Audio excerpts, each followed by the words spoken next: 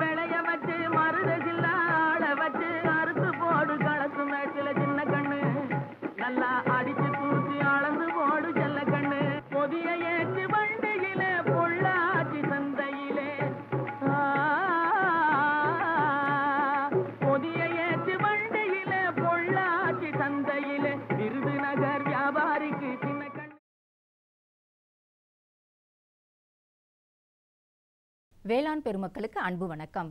இன்றைய பொன் விளையும் பூமி நிகழ்ச்சியில் முதலில் வருவது வேளாண் செய்திகள் வேளாண் சந்தை நிலவரம் வேளாண் வானிலை மற்றும் வேளாண் தொழில்நுட்பம். இன்றைய வேளாண் தொழில்நுட்ப பகுதியில் திருநெல்வேலி மாவட்ட கால்நடை மருத்துவக் கல்லூரி மற்றும் ஆராய்ச்சி நிலையத்தின் கால்நடை விரிவாக்க கல்வித்துறையின் செயல்பாடுகள் குறித்து இந்நிலைய உதவி பேராசிரியர் மற்றும் தலைவர் முனைவர் எஸ் செந்தில்குமார் அவர்கள் தரும் தகவல்கள். இனி வருவது வேளாண் செய்திகள். வேளாண் பெருமக்களுக்கு அன்பு வணக்கம். வணக்கம் வேளாண் செய்திகள். முதலில் வருவது மாத்தி யோசிச்சேங்க.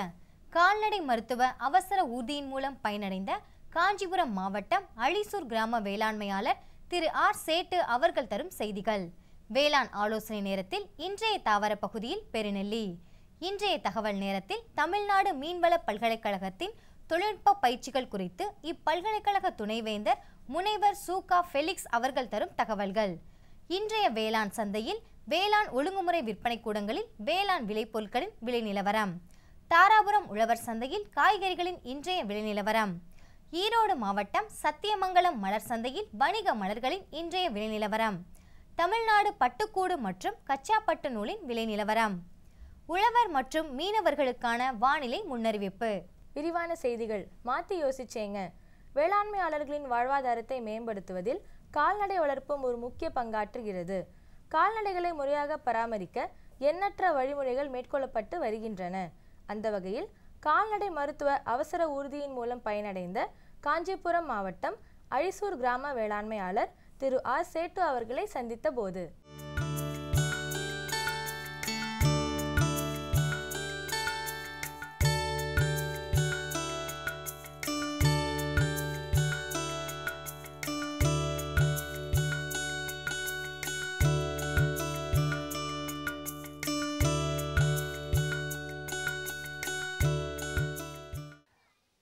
எங்கள் பால் உற்பத்தியாளர் கூட்டுறவு சங்கத்தில் பால் கறவை செய்கிறவங்க வந்து கிட்டத்தட்ட ஒரு எங்கள் ஊரில் வில்லேஜில் பார்க்க போனால் ஐநூறு மாடுக்கு மேலே கறவல் மாடே இருக்குது ஐநூறு கறவை மாடு மேலே இருக்குது இதில் ஏதாவது ஒரு மாட்டுங்களுக்கு உடம்பு சரியில்லை அப்படின்னு சொன்னால் உடனே வந்து எங்கள் அருகில் உள்ள கால்நடை மருத்துவரை பா கான்டாக்ட் பண்ண சொல்லுவோம்.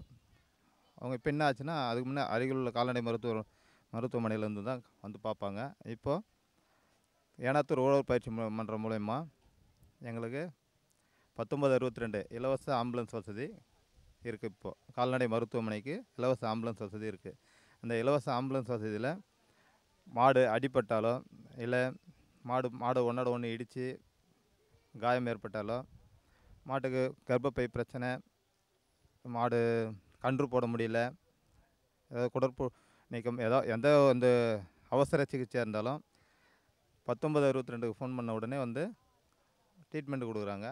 ட்ரீட்மெண்ட் கொடுக்குற மாடுங்களும் ஹண்ட்ரட் பர்சன்ட் இப்போ வந்து எல்லாமே நல்லபடியாக ஆகின்னு இருக்குது தட கர்ப்பப்பை வந்து சுத்தம் பண்ணி கர்ப்பப்பை சுத்தம் பண்ணி இப்போ ட்ரீட்மெண்ட் ட்ரீட்மெண்ட் இடத்துல எங்கள் ஊரில் வந்து முப்பது மாடு பயன்பெற்று இருக்காங்க எல்லா மாடுமே வந்து ஹண்ட்ரட் பர்சன்ட் நல்லா இருக்குது இதை ஏற்கனவே நாங்கள் ஒரு முறை பண்ணதுனால இந்த ஸ்கீம் வந்து நாங்கள் இந்த இலவச ஆம்புலன்ஸ் திட்டம் மூலயமா வரவேற்றோம்.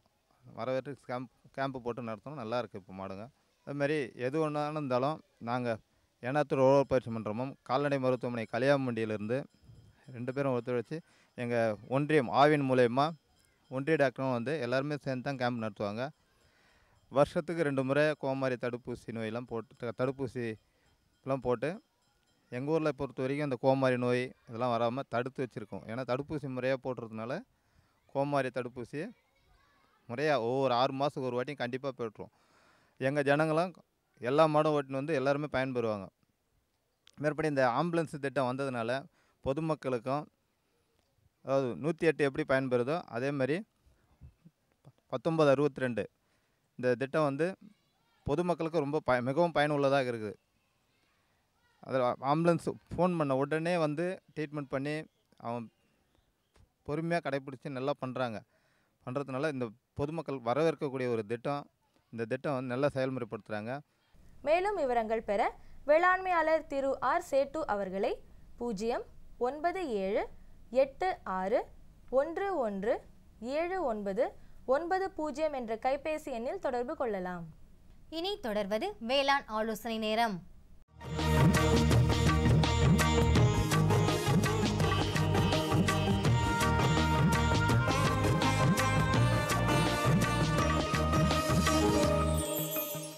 வேளாண் ஆலோசனை நேரத்தில் இன்றைய தாவர பகுதியில் பெருநெல்லியின் சாகுபடி முறைகள் குறித்து காண்போம். பயிரிட ஏற்ற மண் மற்றும் தட்பவெப்ப நிலை. பெருநெல்லி வறட்சி பிரதேசங்களிலும் நிலச்சரிவுகளிலும் அதிகமாக பயிரிட ஏற்றதாகும். இம்மரத்தை வளர்ப்பதன் மூலம் மண் சரிவு மண் அரிப்பு ஏற்படுவதை தவிர்த்து மண்ணின் தன்மை கெடாமல் நிலைப்படுத்த முடிகிறது. பயிரிட ஏற்ற ரகங்கள். பனாரசி என்ஏ ஏழு கிருஷ்ணா கஞ்சன் சக்கையா மற்றும் பிஎஸ்ஆர் மகசூல். நன்கு பராமரிக்கப்பட்ட மரம் ஒன்றிலிருந்து ஆண்டுக்கு நூற்று ஐம்பது முதல் இருநூறு காய்கள் கிடைக்கின்றன. ஒரு மரத்திலிருந்து சுமார் நூறு கிலோ வரை மகசூல் கிடைக்கும். அடுத்து வருவது தகவல் நேரம். இன்றைய தகவல் நேரத்தில் தமிழ்நாடு மீன்வள பல்கலைக்கழகத்தின் தொழில்நுட்ப பயிற்சிகள் குறித்து இப்பல்கலைக்கழக துணைவேந்தர் முனைவர் சூகா ஃபெலிக்ஸ் அவர்கள் தரும் தகவல்கள்.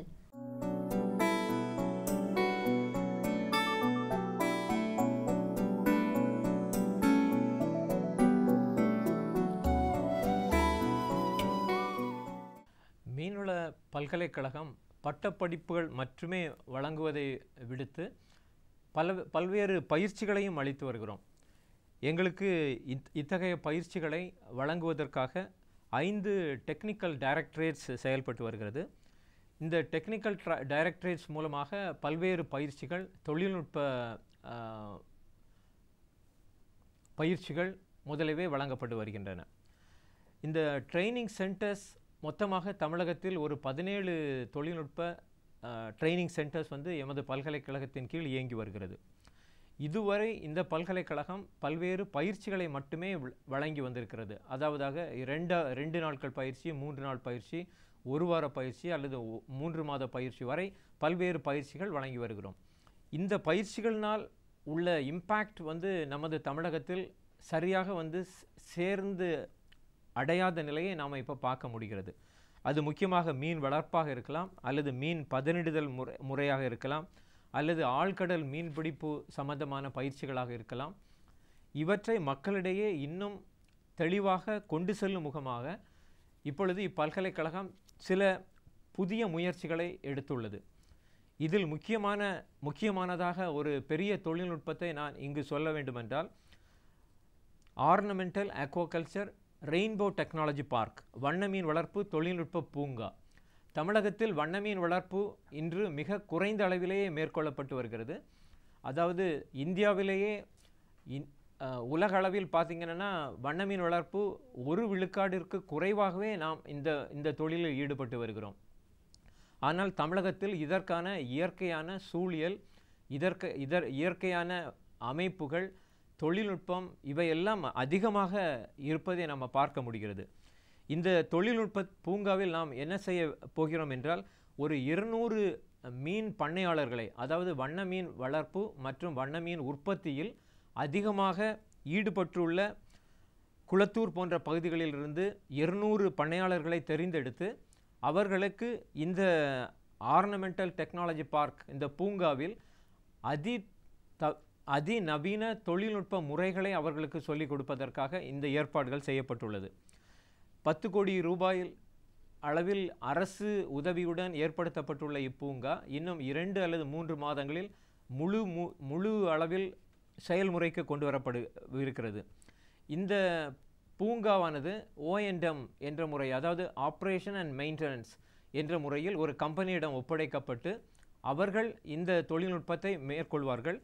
அந்த டெக்னிக்கல் ஆஸ்பெக்ட்ஸ் அதாவது லைவ் ஃபீட் என்று சொல்லக்கூடிய நுண்ணுயிர்களை உற்பத்தி செய்யும் முறை நோய்களை கண்காணித்து மேனேஜ் செய்யக்கூடிய முறை அப்புறம் இதற்கான லெபார்ட்டரிகளை மெயின்டைன் பண்ணுறது இத்தகைய முறைகள் மட்டும் ப- பல்கலைக்கழகத்தால் மேற்கொள்ளப்படவிருக்கிறது. இது தவிர பட்டப்படிப்பை தாண்டி பேரா ப்ரொஃபஷனல்ஸ் ஃபார் ஃபிஷரிஸ் இது வந்து நமக்கு இன்று மிகவும் முக்கியமாக தேவைப்படுகிறது. இன்று இறால் வளர்ப்பு மிக அளவில் மிக அதிகமான அளவில் தமிழகத்தில் வள வளர்ச்சி பெற்று வருகிறது.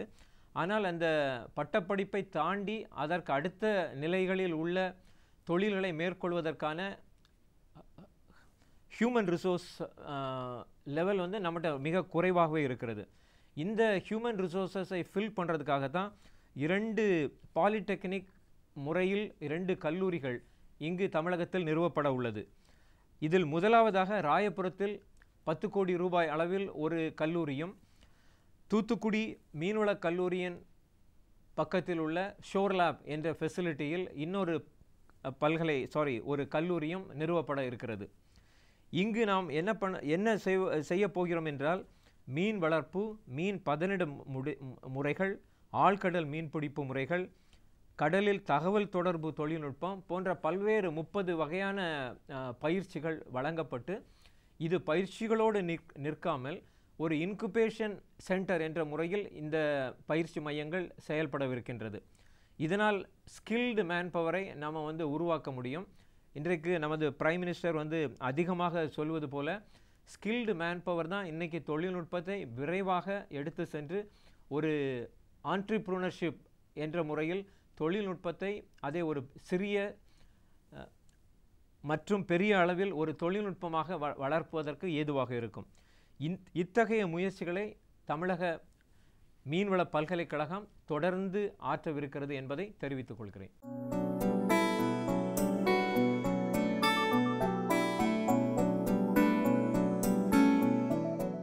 விளம்பர இடைவேளைக்கு பிறகு வேளாண் செய்திகள் தொடரும்.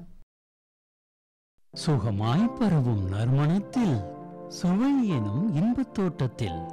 வளர்ச்சி எனும் பாதையில் மலர்ந்திருக்கும் புன்னகையில். பசுமையான செடிகளில் பெரிய பெரிய வர்த்தகங்களில். தேனீக்களின் ரீங்காரத்தில் மகிழ்ச்சியின் இன்ப ஒலியில் NHM தோட்டக்கலை இயக்கம். எங்கள் விருப்பம் உங்களது புன்னகை. வருவது வேளாண் சந்தை.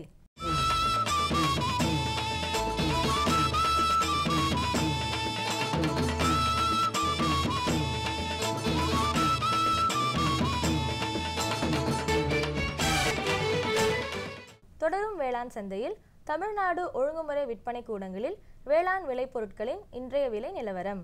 கம்பு உயர்தரம் தேனியில் ஆயிரத்து எட்நூற்று நாற்பது ரூபாய் முதல் ஆயிரத்து தொள்ளாயிரம் ரூபாய் வரையிலும் கோவில்பட்டியில் ஆயிரத்து தொள்ளாயிரம் ரூபாய் முதல் ஆயிரத்து தொள்ளாயிரத்து ஐம்பது ரூபாய் வரையிலும் மக்காச்சோளம் இதர ரகம் அன்னூரில் ஆயிரத்து ஐநூற்று ஐம்பது ரூபாய் முதல் ஆயிரத்து அறுநூற்று ஐம்பது ரூபாய் வரையிலும் போடிநாயக்கனூரில் ஆயிரத்து அறுநூற்று எழுபது ரூபாய் முதல் ஆயிரத்து எழுநூற்று முப்பது ரூபாய் வரையிலும் டிவி கம்பு செஞ்சியில் ஆயிரத்து அறுநூற்று ஒன்பது ரூபாய் முதல் ஆயிரத்து அறுநூற்று எழுபது ரூபாய் வரையிலும் கள்ளக்குறிச்சியில் இரண்டாயிரத்து எட்நூற்று பதினாறு ரூபாய் முதல் இரண்டாயிரத்து தொள்ளாயிரத்து எழுபத்தொன்பது ரூபாய் வரையிலும் பருத்தி எம்சியு ஐந்து உசிலம்பட்டியில் மூன்றாயிரத்து எட்நூற்று ஐம்பது ரூபாய் முதல் நான்காயிரத்து ஐம்பது ரூபாய் வரையிலும் வடமதுரையில் நான்காயிரத்து இருநூறு ரூபாய் முதல் நான்காயிரத்து அறுநூற்று ஐம்பது ரூபாய் வரையிலும் தேங்காய் இதர ரகம் பவானியில் ஆயிரத்து ஐநூறு ரூபாய் முதல் இரண்டாயிரத்து நானூறு ரூபாய் வரையிலும் கம்பத்தில் ஆயிரத்து இருநூறு ரூபாய் முதல் ஆயிரத்து நானூறு ரூபாய் வரையிலும் மணிலா இதர ரகம் கரூரில் நான்காயிரத்து இருநூறு ரூபாய் முதல் நான்காயிரத்து நானூறு ரூபாய் வரையிலும் குறிஞ்சிப்பாடியில் ஆறாயிரத்து எட்நூற்று தொன்னூற்று ஒரு ரூபாய் முதல் ஏழாயிரத்து எழுநூற்று ஐம்பத்தி எட்டு ரூபாய் வரைக்கும் விற்பனை செய்யப்பட்டது. தாராபுரம் உழவர் சந்தையில் காய்கறிகளின் இன்றைய விலை நிலவரம். கத்தரிக்காய் ஒரு கிலோ முப்பது ரூபாய்க்கும் வெண்டைக்காய் ஒரு கிலோ இருபத்தி மூன்று ரூபாய்க்கும் அவரைக்காய் ஒரு கிலோ அறுபத்தி ஐந்து ரூபாய்க்கும் சின்ன வெங்காயம் ஒரு கிலோ எண்பது ரூபாய்க்கும் பெரிய வெங்காயம் ஒரு கிலோ பதினான்கு ரூபாய்க்கும் பச்சை மிளகாய் ஒரு கிலோ ஐம்பத்தி எட்டு ரூபாய்க்கும் தக்காளி ஒரு கிலோ பதினான்கு ரூபாய்க்கும் புதினா கட்டு ஒன்று எட்டு ரூபாய்க்கும் விற்பனை செய்யப்பட்டது. ஈரோடு மாவட்டம் சத்தியமங்கலம் மலர் சந்தையில் வணிக மலர்களின் இன்றைய விலை நிலவரம். மல்லிகை ஒரு கிலோ நூற்று முப்பது ரூபாய்க்கும் முல்லை ஒரு கிலோ நூறு ரூபாய்க்கும் கனகாம்பரம் ஒரு கிலோ நூற்று எழுபது ரூபாய்க்கும் பட்டன் ரோஸ் ஒரு கிலோ நூற்று அறுபது ரூபாய்க்கும் துளசி ஒரு கிலோ நாற்பது ரூபாய்க்கும் சம்பங்கி ஒரு கிலோ இருபது ரூபாய்க்கும் காக்கடா ஒரு கிலோ ஐம்பது ரூபாய்க்கும் கோழிக்கொண்டை ஒரு கிலோ எண்பது ரூபாய்க்கும் விற்பனை செய்யப்பட்டது. தமிழ்நாடு பட்டுக்கூடு விற்பனையில் முன்னணி நகரங்களில் விலை நிலவரம்.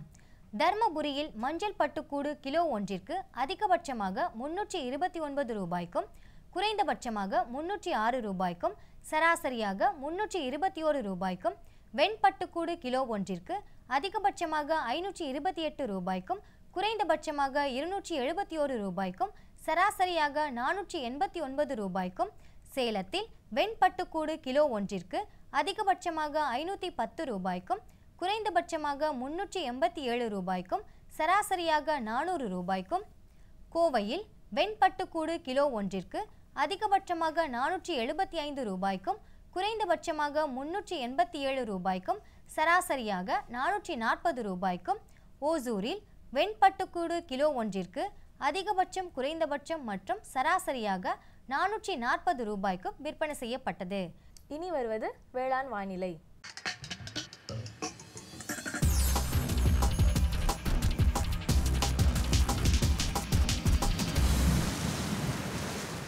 இன்றைய வேளாண் வானிலையில் உழவர்களுக்கான வானிலை முன்னறிவிப்பு. புதுச்சேரி மற்றும் தமிழகத்தில் ஓரிரு இடங்களில் மழையோ அல்லது இடியுடன் கூடிய மழையோ பெய்யக்கூடும். மீனவர்களுக்கான வானிலை முன்னறிவிப்பு. தமிழகம் மற்றும் புதுச்சேரி கடலோர பகுதி மீனவர்களுக்கான வானிலை எச்சரிக்கை ஏதும் இல்லை. இத்துடன் இன்றைய வேளாண் செய்திகள் நிறைவடைந்தன. வணக்கம். மீண்டும் நாளைய வேளாண் செய்திகளில் சந்திப்போம். நன்றி வணக்கம்.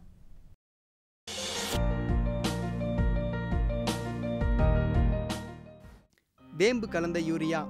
சிறந்த உற்பத்திக்காக வேம்பு கலந்த யூரியா நம் நாட்டிலேயே எழுபது லட்சம் டன்னாக அதிகரிக்க ஆறு ஆலைகள் சீரமைக்கப்படுகின்றன. எஃப்சிஐஎல்லின் கோரக்பூர் சித்ரி தல்ச்சர் மற்றும் ராமகுண்டம் ஆலைகள் HFCL-இன் பரௌனி மற்றும் பிவிஎஃப்சிஎல்லின் நாமருல் போர்ட் ஆகியன.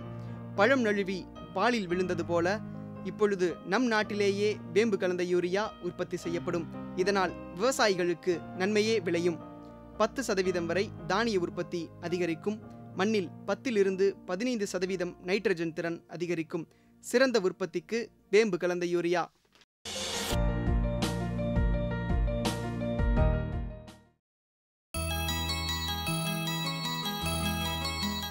திருநெல்வேலியில் செயல்பட்டு வரும் கால்நடை மருத்துவக் கல்லூரி மற்றும் ஆராய்ச்சி நிலையம் கால்நடை வளர்ப்பு குறித்த பல்வேறு பயிற்சிகளையும் ஆராய்ச்சிகளையும் மேற்கொண்டு வருகிறது.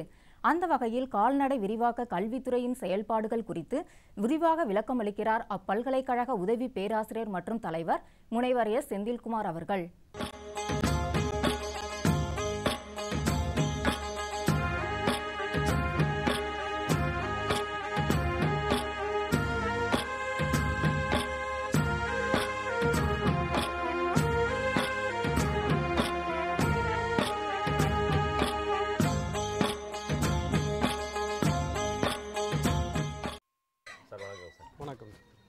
நான் பார்த்த வகையில் இது கொஞ்சம் புது மாதிரியான அமைப்பாக இருக்கே. இதை பற்றி சொல்லுங்களேன். இது நல்ல வருமானம் வரக்கூடிய தொழில் அப்படின்னு சொல்ல போனா இந்த வெண்பன்றி வளர்ப்பு தொழில் தான்.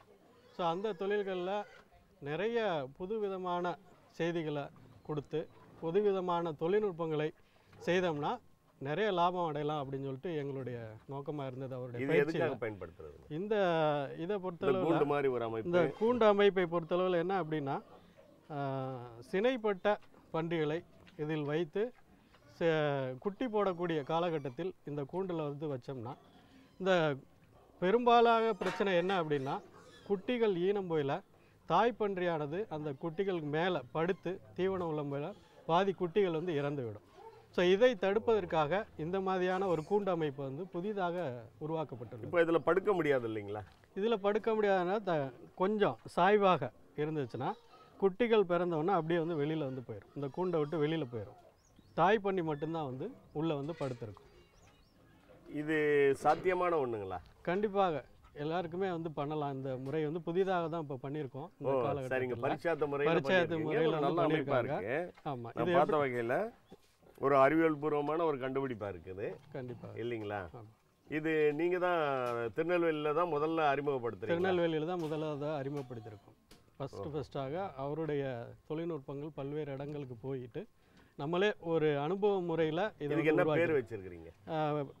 பன்றி ஈனக்கூடிய கூண்டு. அந்த மாதிரியான ஒரு டெக்னாலஜி இப்போ வந்து சொல்லியிருக்கிறோம். ஸோ அதை வந்து இவர் வந்து இம்ப்ளிமெண்ட் பண்ணியிருக்கார் நம்ம இடத்துல.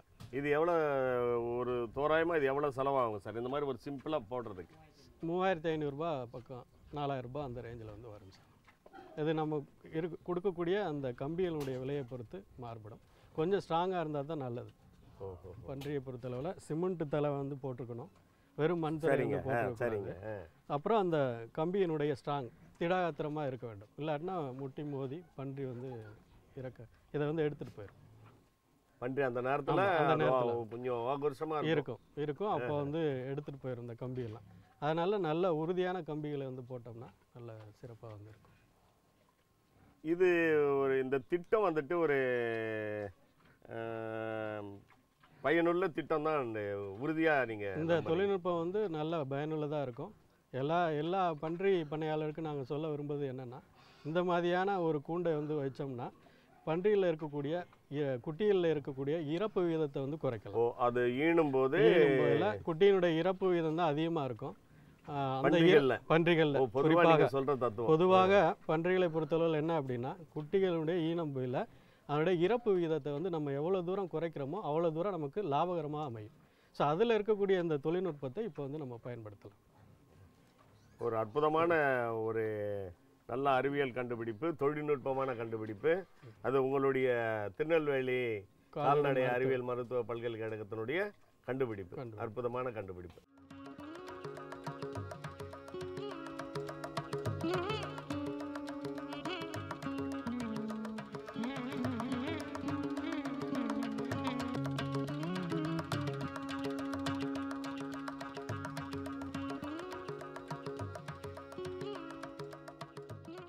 சார் நீங்கள் பயிற்சி கொடுத்து நம்ம ராமகிருஷ்ணன் ஒரு நல்ல அளவுக்கு இன்னைக்கு வந்துட்டு வெண்பன்றி வளர்ப்பு. ஆனால் இங்கே பார்க்கும்போது வேறு வேறு விதமாக எனக்கு தெரியுதே. வெண்பன்றி மட்டும் இல்லை போலருது என்னெல்லாம் வகையில் பன்றிகள் இருக்குங்க சார் இங்கே? பன்றிகளை ராமகிருஷ்ணனை பொறுத்தளவில் ஒரு இளைஞர் துடிப்பான இளைஞர். ஸோ அவருக்கு வந்து நிறைய ஐடியாஸ் வந்து வச்சுருந்தாரு. அதை வந்து நாங்கள் வந்து மெருகேற்றணும். கால்நடை பல்கலைக்கழகத்தின் மூலமாக நம்ம திருநெல்வேலி கால்நடை மருத்துவக் கல்லூரி மற்றும் ஆராய்ச்சி நிலையத்தில் ஒரு மாத கால பயிற்சிகள் கொடுக்கும் போயில. ஸோ ஒருத்தர் பார்க்கும் போயில நமக்கு வந்து தெரியும் அவருடைய மைண்ட் செட் என்ன அப்படின்ட்டு. ஸோ அதை நம்மளுடைய கல்வி அறிவு மூலமாக அவரை வந்து பிரத்யேகமாக கொண்டு வரணும் அப்படின்றது தான் எங்கள் கல்லூரியுடைய முக்கியமான நோக்கம். ஸோ அதில் குறிப்பாக இந்த வெண்பன்றி வளர்ப்பு மட்டும் அல்லாமல். ஸோ அதற்கு தேவையான தொழில்நுட்பங்களை எல்லாம் சொல்லி கொடுத்தோம் முதலாவதாக நம்ம பார்த்தது வந்து அந்த கூண்டு அதாவது பன்றி ஈனக்கூடிய வகையில் இருக்கும் தருணத்தில் நம்ம கூண்டுகளை தயாரிக்கிறது. அப்புறம் நிப்பிள் ஃபீடிங் அதாவது வாட்டரிங் அது ஒன்று பண்ணோம். அதுக்கப்புறம் பார்த்தீங்கன்னா வெயில் காலத்தில் வந்து பன்றிகள் வந்து அதிகமாக வெப்பத்தினால தாக்கம் அடையும். வெயில் காலத்தில் இந்த ஓப்பன் ஸ்பேஸில் ஒரு ஸ்ப்ரிங்க்லர் வந்து வச்சு கொடுத்தா அதுக்கு நல்லா இருக்கும். அதனுடைய உடல் வளர்ச்சி அதிகமாக இருக்குன்னு சொல்லிட்டு தண்ணி இந்த தண்ணி பீச்சு அடிக்கக்கூடிய. ஒரு ஸ்ப்ரிங்க்லரையும் இந்த பண்ணையில் வந்து அமைச்சிருக்கோம். ஸோ இதனுடைய தொடர்ச்சியாக பார்த்தோம்னா பன்றிகள்லேயே அதிகமாக தீவன செலவு அதிகமாக இருக்கும் கால்நடைகள் பொறுத்தளவில். ஸோ அதில் அந்த தீவன செலவை எப்படிலாம் குறைக்கணும்னு நம்ம பார்க்கும்போதில் இந்த அசோலா அப்படின்னு சொல்லக்கூடிய ஒரு தண்ணியில் மிதக்கக்கூடிய ஒரு பாசி வகையை சேர்ந்த ஒரு பெரணி வகையை சேர்ந்த ஒரு தாவரம். இந்த அசோலாவை வந்து நாங்கள் அந்த பயிற்சியில் வந்து சொன்னோம். இந்த அசோலாவை சாதாரணமாக தான் சிம்பிளாக வந்து சொல்லி கொடுத்தோம். ஸோ அவர் இங்கே வந்து பார்த்தோம்னா ஒரு பாத்தி மாதிரி அமைச்சிருக்கிறாரு. இந்த அசோலாவுடைய நன்மைகள் என்ன அப்படின்னா ஸோ தீவனத்தில் ஆறு வகையான சத்துக்கள் இருக்குது புரதச்சத்து கார்போஹைட்ரேட்டு தாது உப்புக்கள் கொழுப்பு சத்து இதெல்லாம் இருக்குது ஸோ இந்த கால்நடை தீவனத்திலேயே புரதச்சத்து தான் மிக முக்கியமான ஒரு தீவனம். அந்த புரதச்சத்தை பொறுத்தளவில் என்னென்னா நோய் எதிர்ப்பு சக்திக்கு அந்த புரதச்சத்து கண்டிப்பாக வேண்டும்.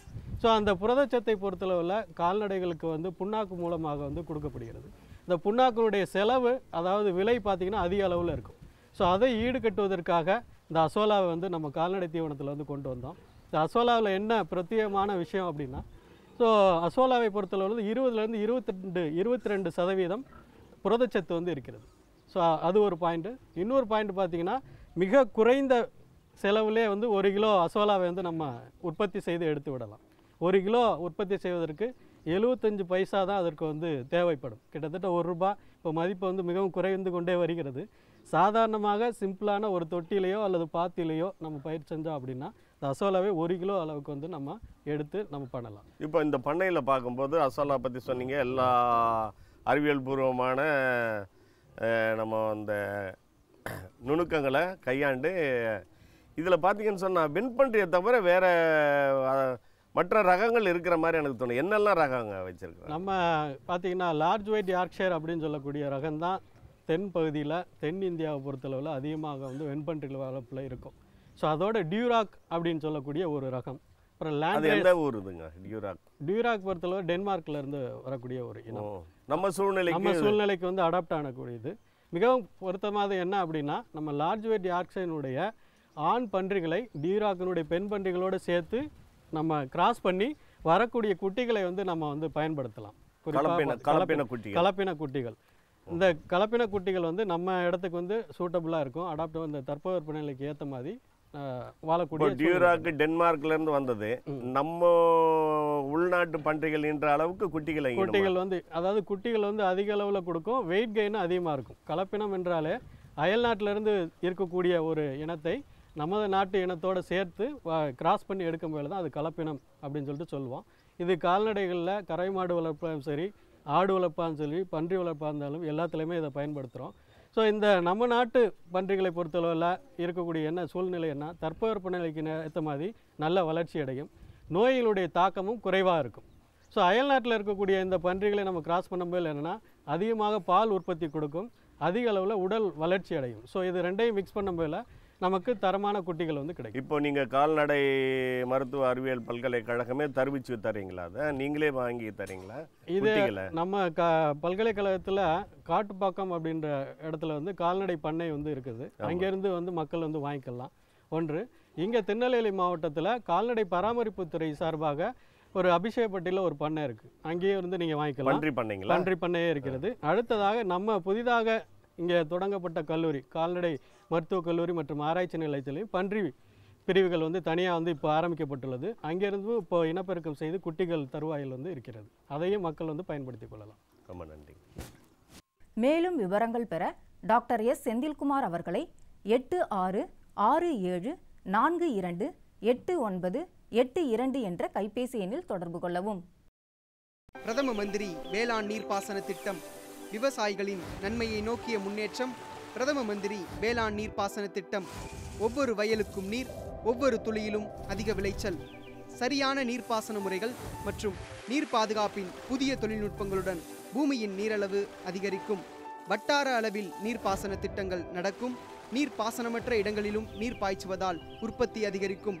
இந்திய அரசின் மாபெரும் திட்டம் பிரதம மந்திரி வேளாண் நீர்ப்பாசன திட்டம். இருபத்தி நான்கு ஐந்து இரண்டாயிரத்தி பதினேழு புதன்கிழமை அன்று பொன் விளையும் பூமி நிகழ்ச்சியில் மாத்தி யோசிச்சேங்க.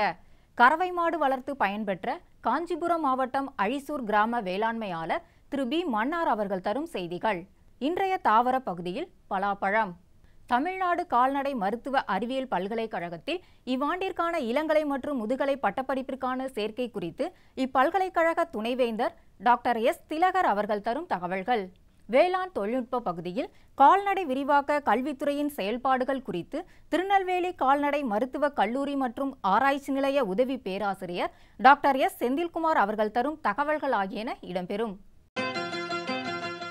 மீண்டும் நாளைய பொன்விளையும் பூமி நிகழ்ச்சியில் சந்திப்போம். நன்றி வணக்கம்.